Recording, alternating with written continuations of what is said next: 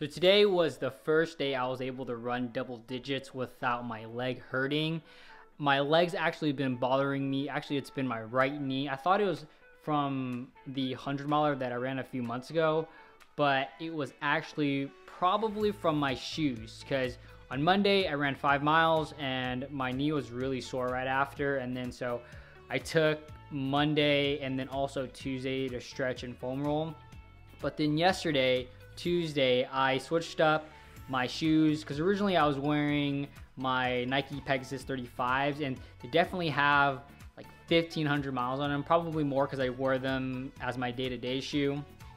And so I used my new Terra Kigers yesterday and I was gonna run three or four, but then I only ended up running one because my leg hurt. So I just walked three or four more miles.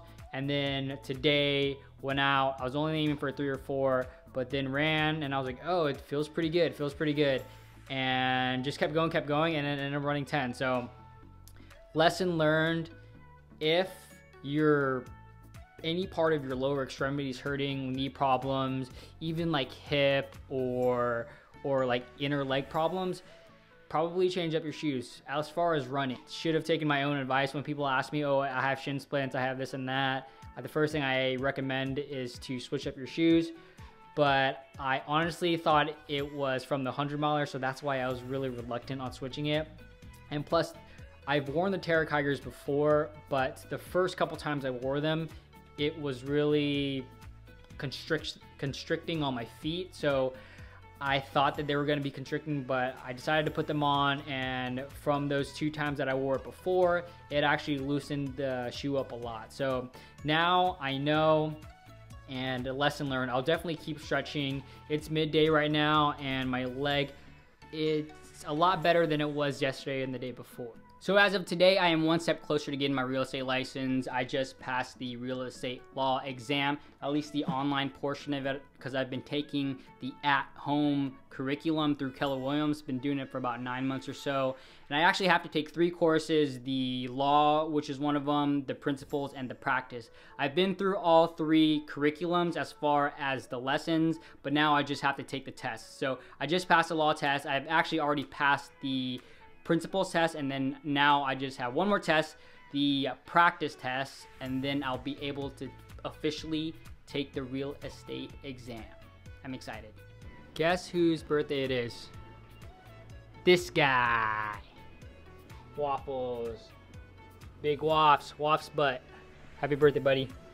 And then it is also Olive's birthday. We actually just combined their birthdays. We received waffles from my brother's friend a year ago on this day. And so we just wanted to make it his birthday on this day.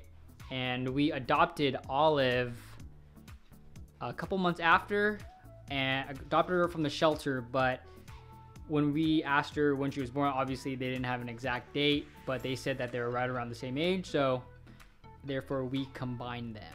So happy birthday, waffles, and olive. And you might ask what we are doing today. We already took them out for a walk on their harness, body harnesses, and they had a good time. We were out there for like 20 minutes. So if you don't, if you have an indoor cat, get a harness, take him or her out on a walk, and they might enjoy it. Who knows? But you have to be careful because they might be eating leaves and sticks and bugs and stuff like that. So be careful.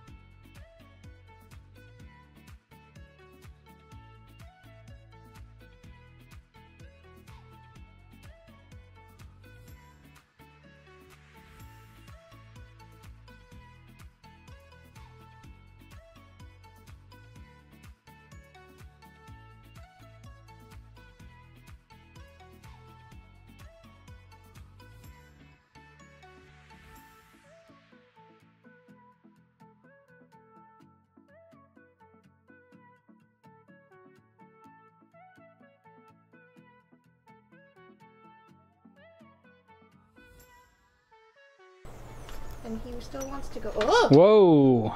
There's a mosquito eater. Those are good though. Yeah, but not in the house. Right, you're not supposed to kill those. Yeah, but Because those eat mosquitoes. Yeah, but don't. That's way too big to get in there. Yeah, but if you open the door... So people don't kill those. People think those are mosquitoes, but it, that's actually not a mosquito. It's a mosquito eater. So they eat the things that bite you. They make you itch.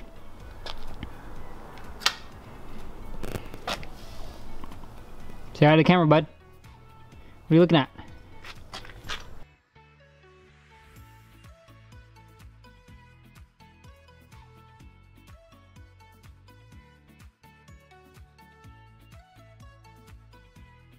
So Waffles is other favorite sleeping spot. Anytime I'm sitting on the couch midday, he knows that he can just climb up on me and cuddle with me and go to sleep. Midday nap. Until then, call me the PTSD. I mean. Happy birthday, Olive. All leaves, all leaves. She likes to sit on this top of her cat tree. And she also likes to sit here. Can't see it. It's a porch thing. And she's stretching. Happy birthday, happy birthday, happy birthday, happy birthday. I'm gonna give you a treat tonight. Let me find olives. I mean, olives. Waffles. Waffles. Waffles. Happy birthday. Happy birthday. Do you know it's your birthday? Happy birthday. I'm gonna give you a treat later, but he's already kind of big. Kind of big. Show's working on the back. Happy birthday to my cats. Thanks for watching this video, getting to know me, getting to know more about my cats. If you want to follow my journey, please subscribe, like the video if you do. Other than that, see y'all soon.